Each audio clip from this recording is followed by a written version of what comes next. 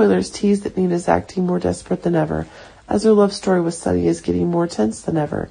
But it seems that when Nina's realizing that it's Carly who's taking dangerous actions, it's Nina who will take revenge more strongly than ever. Remember now that Sonny is increasingly trying to protect Carly from the stress after the truth about Willow's identity has been revealed.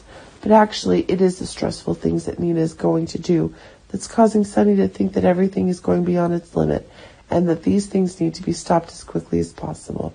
But it seems that when hatred is increasingly swallowing Nina, it seems that everything is being pushed to a whole new chapter.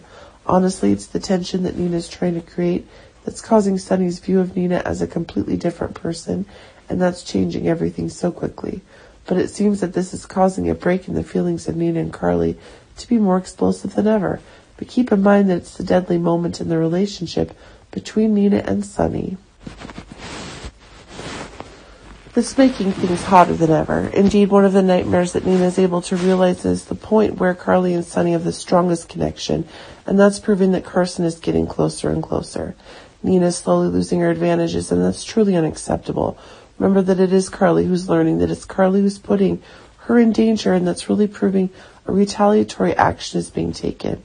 Nina will exceed the limits that Sonny has set in the actions that Nina's not doing towards Carly as the hatred is growing more and more. Nina's certain that it will not be possible to act alone. Nina's trying to take advantage of Liesl's hatred after Britt's death to be able to create an even longer advantage over Nina's next actions. Indeed, Britt's death is having the effects that Carly herself is experiencing. Indeed, it is Liesl and Nina who will destroy Carly. Nina's in need of someone to take responsibility for the bad things she's going through, and that's having an attack on Carly as quickly as possible. But now it seems impossible to have a normal attack when it's Nina who wants Carly's life back, and that's really making things more and more explosive than ever. But it seems that things are really getting one of the crazier things. If Nina's trying to kill Carly, Sonny's not able to control Nina's actions.